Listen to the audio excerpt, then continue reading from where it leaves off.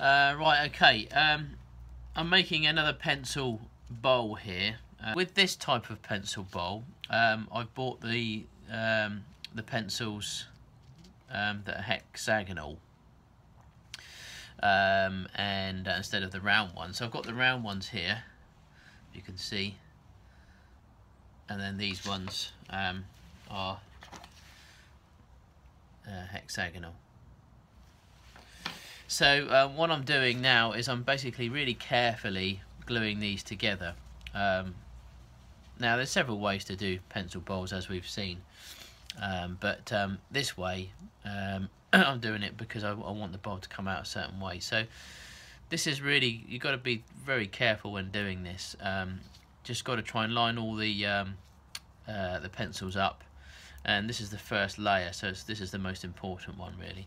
Just to try and get them all to sit quite nicely because once you've done the first layer then you'll find that they'll all quite sit nicely and they'll be easier to glue up afterwards. They sit quite nicely in in between each other there like that. So um, it's not always perfect you know and, and I can't you know get it perfect myself but you know it, it, it just gotta just take a bit of time with it um, just basically gluing them all together just being very careful. I just do two basically at a time. So glue up two and then glue up another two glue up another two and then just glue them two together. Um, it just does a bit time consuming that's all just to get the uh, the main base right. Um, so I'm going to build this probably three maybe four pencils high um, and then uh, glue them to a block of wood uh, on top and bottom so again, we'll do a little, a small pencil project for you, um, just to see how this one, how this one goes together. These are the pencils that I've found for this pencil bowl. Uh, I've got these from Hobbycraft.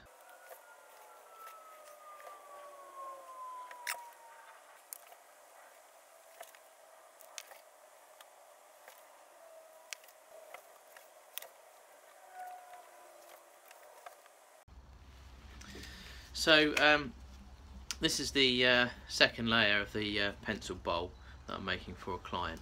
Um, and as I said earlier on, you know, it's um, it's really important to try and get the first layer, you know, dead straight, lined up pretty well, because it makes life so much easier when you're doing the rest of it.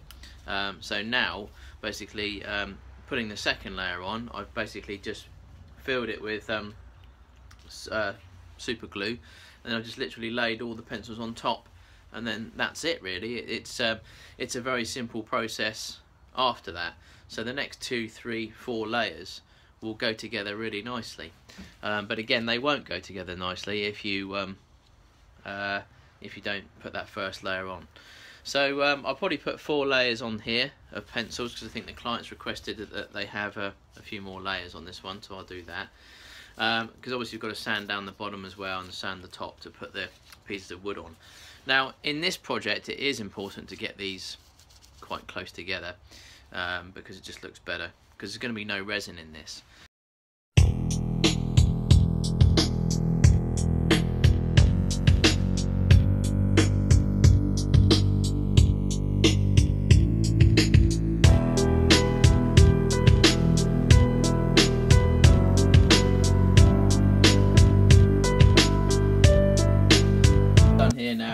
Just basically secured it down. So you can see how easy that was after you've done the first layer. So I've secured it down uh, with these clamps just to clamp it all up just to make sure it's all nice and tight nothing's going to pop out. So uh, I'll leave that for you know five ten minutes. This um, is um, done now so I think four layers of pencils is enough on there. So I'm going to stick this in the sander now. I'm just going to uh, smooth off the top um, smooth off the bottom so that we can fix and glue up um, a, a, bowl blank of some kind or piece of wood at the bottom there to make the base uh, of the um, of the bowl and obviously the top as well just so we've got a nice finish on the uh, top of the bowl. You can see here you've got a fairly good contact uh, in most areas. There are a few areas but we can fix those when we get it on the lathe. What I'm going to do now is I'm going to glue this piece up um, to this uh, block bowl blank that I found. Um, I believe this is a piece of walnut, so I do like working with walnut, as you've probably noticed. So we'll just put a bit of uh, Gorilla Glue on here and we'll just rub this in on this side just making sure we're covering everywhere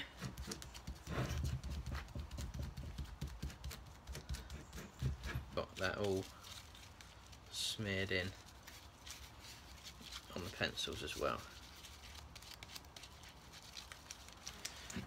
More. I'm going to put it down this way because this is going to be the biggest part of the bowl at the top.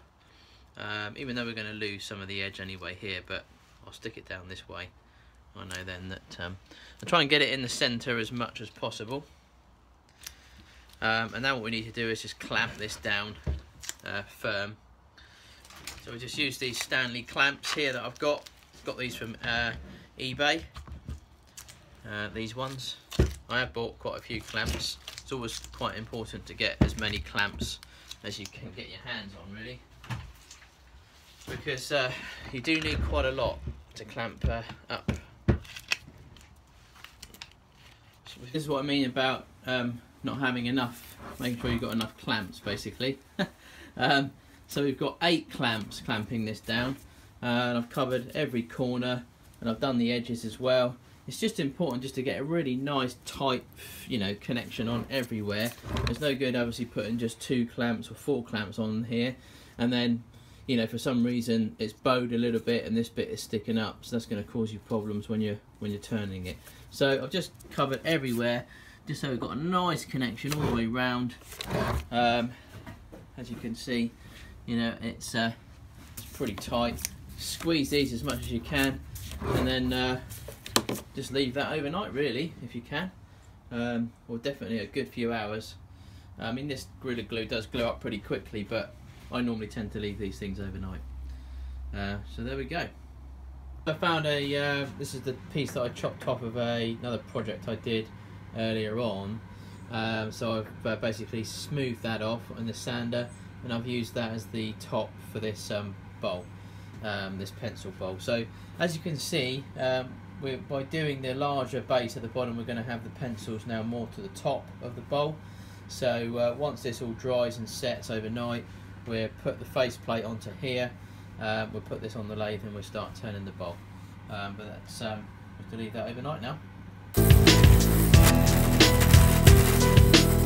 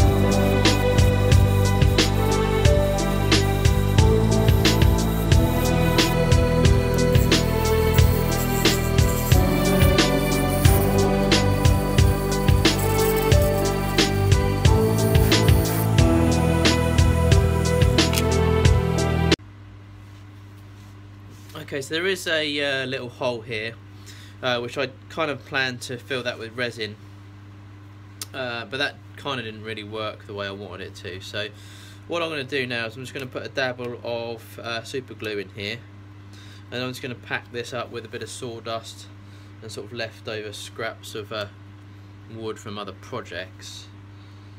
Um, and I think that should fill the gap. What I'm going to do is I'm going to put some gloves on for this because um, this super glue is lethal stuff. You know, get it on your fingers.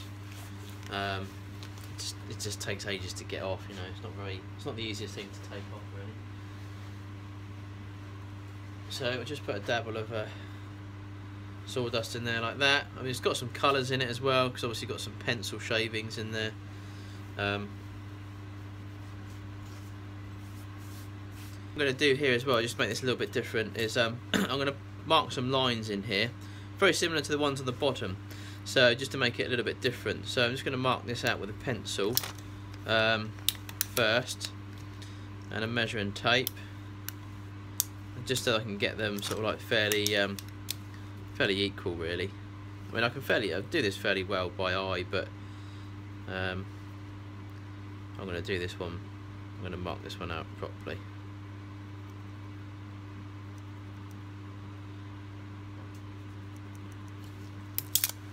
So something like that. So what I'll do now is I've marked those lines out.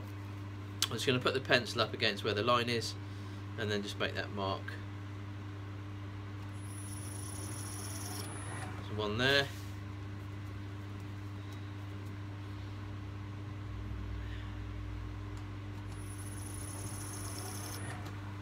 Two.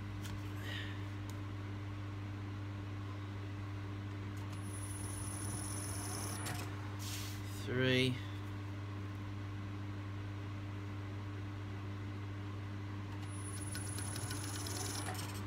four,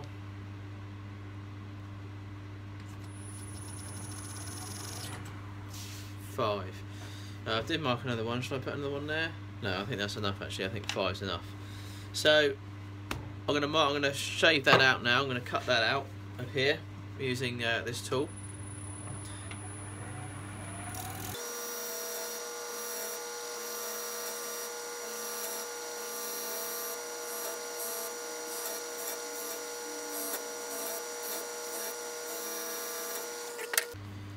So we've got these little lines in there now.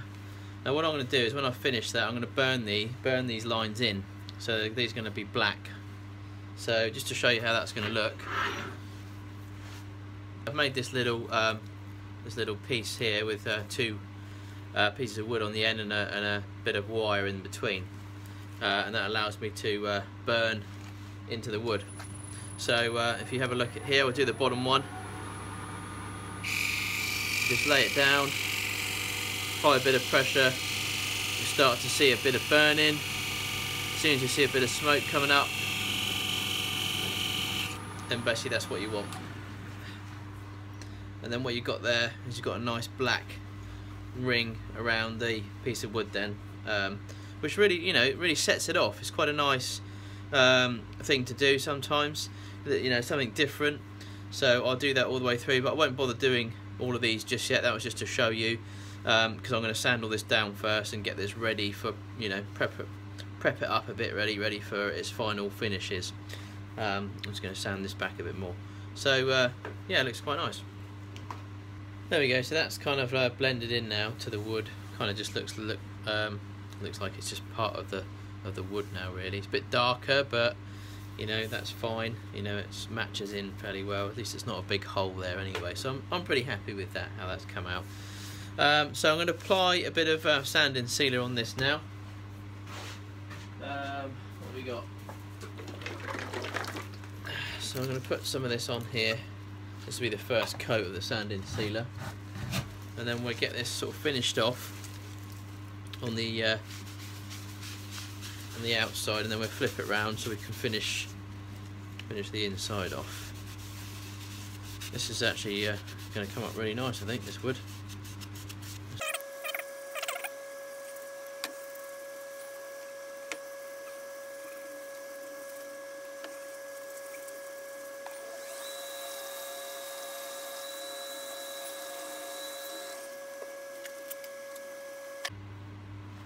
Okay, now on this piece, basically I've sanded this down now. It's had a couple of coats of sand and sealer on it. Um, it's looking fairly good. Um, what I'm going to go for this time is I'm going to go for this uh, Hampshire Sheen. Now, this is a local guy uh, from me, um, Martin Saban Smith, that makes this stuff. So, um, and I've heard some really good stuff about it. Um, and I haven't really used it. Apply the uh, Hampshire Sheen now. I'm going to put this uh, on and I'm going to apply it with this lathe running sort of fairly slow um, for this one. I'm just going to get it all in the, uh, just make sure I've got covering all the areas.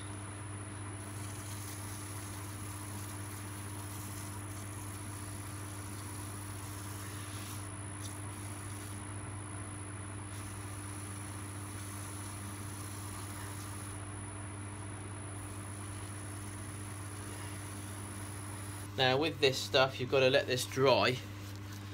So we're going to leave it to dry uh, and then we're going to buff it off and see what we uh, see what result we get from that. So we just leave that there for a little bit. We'll come back to that in a minute. So I'm just going to buff this off.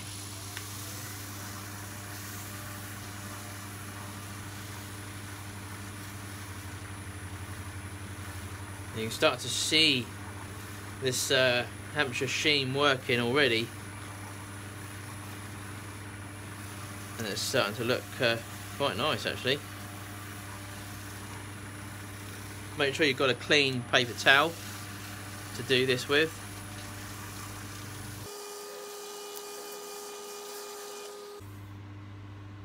Wow, look at that. Absolutely fantastic. That's a lovely finish. Beautiful. This is the uh, Hampshire Sheen uh, High Gloss. Um, works lovely. I mean, uh, normally what I do now is I probably put on some of the, um, the Shellawax, um, but you don't really need to, really, with this uh, stuff. This really does a, a fantastic job uh, itself. Uh, and the good thing about this is it doesn't really leave any marks as well, which is quite nice. Um, I know sometimes when applying the Shellawax it does leave some marks. Um, maybe that's user error, but um, you know anything to make your life you know a bit easier really. So um, yeah, it's quite nice actually. I like that. Guys, if you uh, want to buy some of this stuff, I'll put a link down uh, below so you can uh, click on the link and Martin will uh, will deliver it to you. No problem. There we go. Right, so what I'm going to do now is flip this over. This is ready now and finished. Actually, no, it isn't. Actually, no. I tell a lie. We need to put our black lines in here.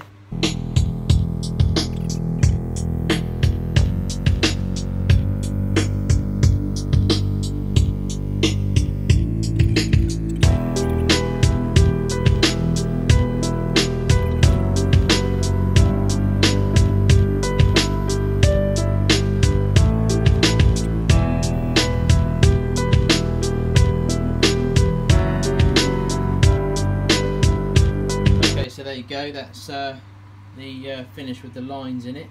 So you can see it gives a quite a nice finish really. Um, Hampshire Sheen has done a really uh, cracking job as well. Um, so that looks really nice. It's really shined that up really well. Um, yeah and just having these lines in here just basically in this with the black you know the black lines it really just sets off the piece I think. Um, so so that looks quite good. I like that. Uh, just be careful obviously if you're going to try that. Um, and what I've got obviously here um, is basically the wire tied up into um, basically these are little pencil blanks. Um, and I've just basically um, put them in put them into the lathe and just cut out a middle so that I can tie the wire around. Um, so make two little handles so you can use it to, to make your black lines with. So uh, yeah there you go. So we're going to flip this over now and finish off the inside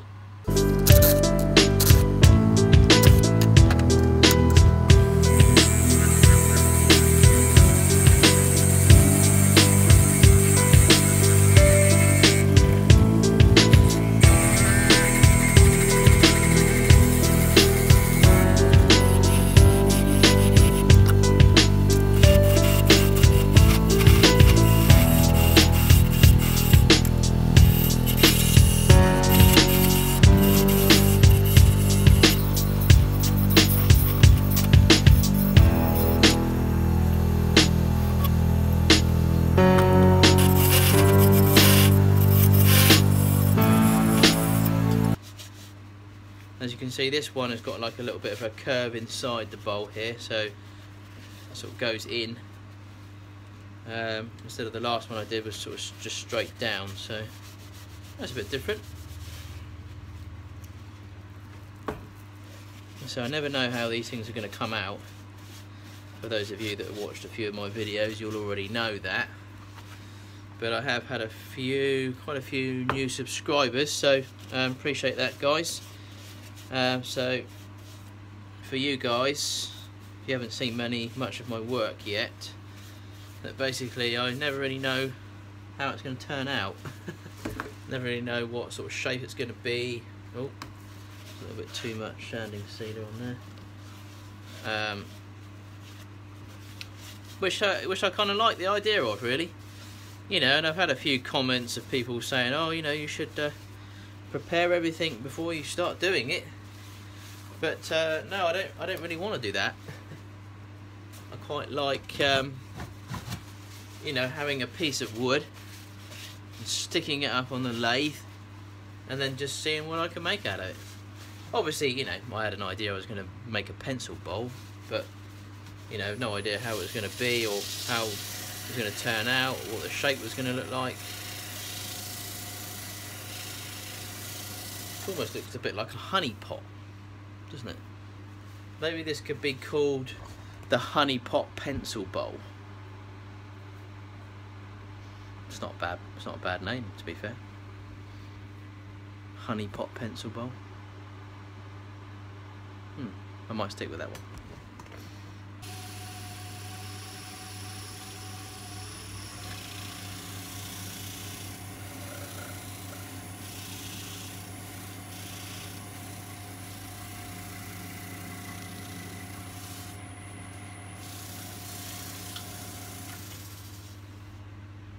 Go. Fantastic. Look at that. That's a beautiful, uh, beautiful finish. So, um, yeah, pretty pleased with that. Right. So I finished this uh, this bowl, and um, oh my god. Basically, I finished this today, and I've been kind of reviewing the uh, Hampshire Sheen uh, which has uh, come up with some pretty amazing results um, and I'm really happy with that. Um, then I noticed this other little thing on the uh, shelf. So I thought I'd give that a bash and stick it on it and see what kind of finish I've got. And oh my god I've never seen such a finish. This has come up so perfect. It's almost kind of like unbelievable what this little product has done. And I was pretty happy with the finish, but I thought, oh, I saw this. I thought, I'll give this a bash, just put it on top. And it's just uh, incredible. Absolutely incredible. The finish that it's given. This is like glass. I don't know if you can sort of really get the feel of actually how that looks, but that is absolutely amazing. And it's all from Hampshire Sheen wax stick. If you haven't got this in your shed, then you need to get it. Trust me. This is amazing. So I think I'm going to be using that stick every single time I finish a product because uh, finish is just absolutely amazing.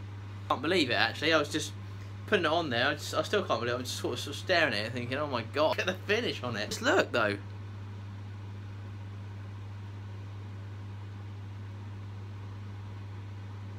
Just so cool. Anyway, I think this one's going to be called the Honey Pot uh, Pencil Bowl. Kind of looks like a honey pot. Um, you can't really see in there, can you? No, no, no, no, no. I don't think I've got a light anywhere. No. it looks alright in there anyway. Um, finished it off in there, inside but you can get the gist of what it looks like. There's the outside of it. Um, there we go. It's just a bit of a bit of a different piece really. I know it's got pencils in it again and I know I've done a few pencil projects and I do have another pencil project on the go at the moment as well. So uh, I'll be bringing that one up as well soon. Um, it's a very similar to one that you've seen before but a bit different. But I'm kind of liking the pencil thing at the moment so um, hope you don't mind. I will chop and change. But um, yeah, I mean, I'm pretty pleased with that actually. That's a really nice, really nice finish. Um, I quite like uh, the wood, and um, yeah, I hope you liked it as well. Um, again, this is this stuff that I used at the end. And I say it's just it's just absolutely awesome. So give it a bash. I put some stills up at the end guys. Uh, thanks for everyone watching. Uh, thanks for uh, all my new subscribers and all my old ones. Uh, I really appreciate uh, every uh, every subscriber, and um, so I've got a few more ideas. It's just when I get around to kind of doing them really. Um, but um, so yeah, hope you like it, and please subscribe if you haven't done already.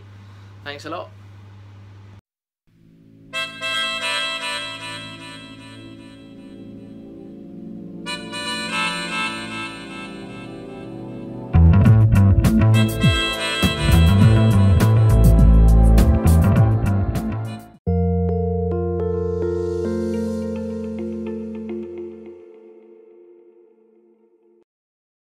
Found this knocking about in the shed. Um, I bought this a little while ago um, and it's just been sat around doing nothing. It's quite a chunky piece um, of wood um, and I thought I'd just get it on the on the lathe and just see if I can actually make something of this. I'm not too sure what really.